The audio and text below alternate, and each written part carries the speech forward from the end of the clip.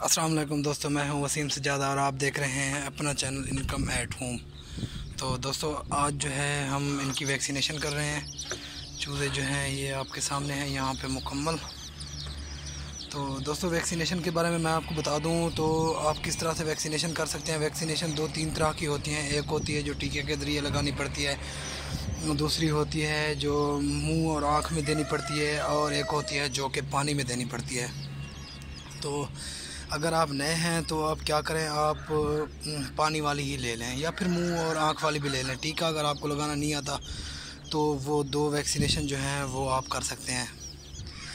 کل یا پرسوں میں نے ویکسینیشن لینے جانا تھا تو لیکن آج مجھے جو ہے سرکاری ہسپتال سے مل گئی ہے تو میں نے وہاں سے لے لی۔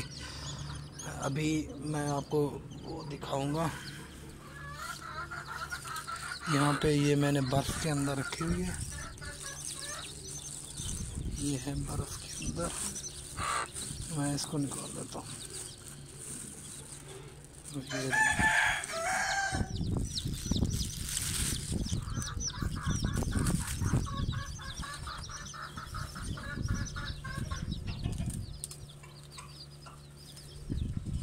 یہ جو ہے، یہ میں نے نکال لی ہے یہ برف کے اندر ہے۔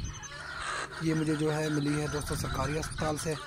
تو اگر آپ کے پاس بھی کوئی سرکاری اسپتال قریب ہے تو آپ ایسا کریں کہ وہیں سے اٹھا لیں۔ وہیں سے آپ کو اچھی چیز جو ہے مل جائے گی۔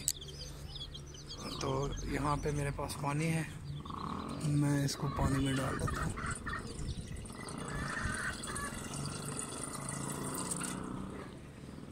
یہ ہوگی پانی میں۔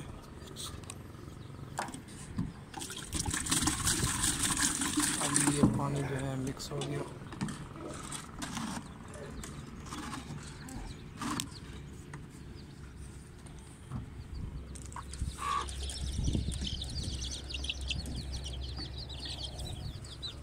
پانی جو ہے میں نے ان کو رکھ دیا ہے۔ ابھی یہ پانی پینا شروع کر رہے ہیں۔ تقریباً یہ پی لیں پانی۔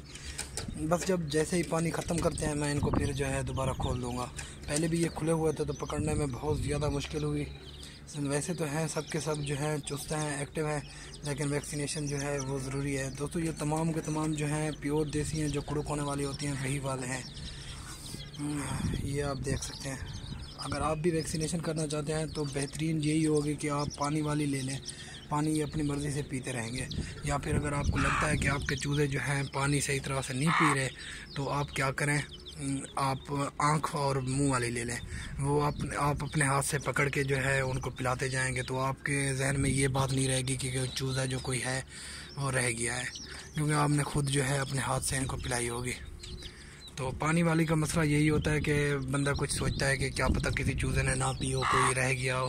لیکن جو ٹیکے والی ہے اور یا پھر آنکھ یا منہ والی ہے، اس میں بندے کو یہ چیز کنفرم ہوتی ہے کہ اس نے جو ہے تمام چوزوں کی جو ہے کر دی ہے۔ اوکے دوستوں امید کرتا ہوں آپ کو ویڈیو پسند آئی ہوگی۔ اگر ویڈیو پسند آئی تو لائک ضرور کر دیں۔ اور اگر آپ ایسی ویڈیو روز دیکھنا چاہتے ہیں تو ہمارے چینل کو سبسکرائب کر دیں۔